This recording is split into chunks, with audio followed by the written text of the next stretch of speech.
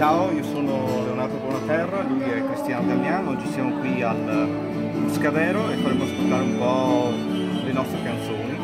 Cercheremo di far entrare le persone nei nostri mondi e adesso stiamo lavorando a un nuovo CD che è ancora in fase di studio e siamo felici di essere qui al Buscadero. Ci sono un po' di suoni acustici, un po' di mix particolari e qualche arrangiamento nuovo. Intanto vi salutiamo e ringraziamo tutti i ragazzi che hanno speso le loro forze per organizzare questo bellissimo festival.